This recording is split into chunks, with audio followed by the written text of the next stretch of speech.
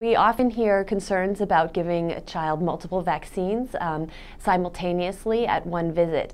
Um, I always try to reassure parents that this is the safest way to give vaccines, and there are many reasons for this. One is um, that is the way the vaccines were studied. Every time a new vaccine becomes available, we study it when it's given with the prior vaccines, and we study the immune response in children.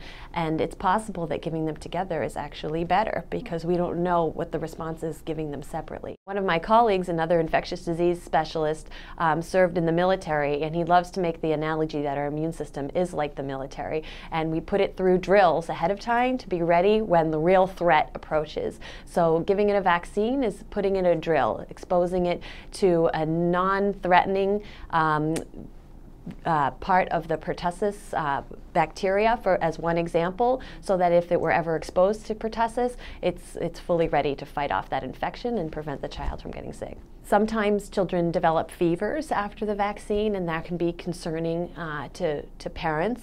Um, often that is the body's response to the antigen or protein that they were exposed to, but that is actually an appropriate response. And I actually tell people um, that, they, that that is letting them know that the vaccine is actually working.